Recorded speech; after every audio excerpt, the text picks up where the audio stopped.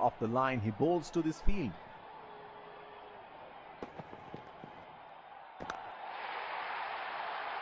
He has found the gap. That is a boundary.